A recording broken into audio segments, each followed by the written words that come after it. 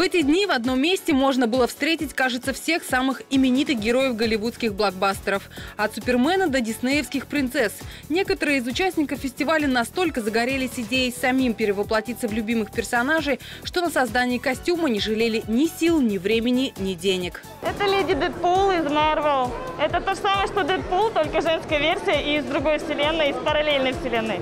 Ну, вообще его шили мне на заказ, но я дополнительно его доделывала, то есть здесь и маску доделывала, катаны, все это, э, пистолеты, все это доделывалось вновь. Ну, в районе 20 это только костюм вышел, остальное все, что там я докупала, но еще может быть тысяч на 10.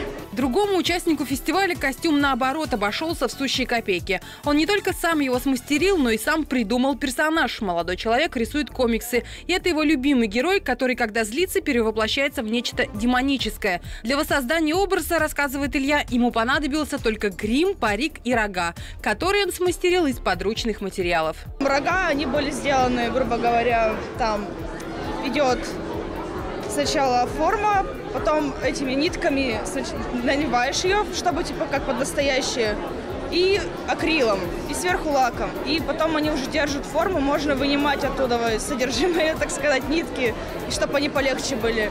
И прикрепляешь там либо на ПВХ, ну, либо кто то может на момент, кому как удобно. Идеями костюмов и как их создать ребята делились в перерывах между дефиле на сцене и другими мероприятиями. Для гостей и участников фестиваля была подготовлена большая развлекательная и образовательная программа. Мастер-классы, лекции, ну и, конечно, игры, как настольные, так и компьютерные.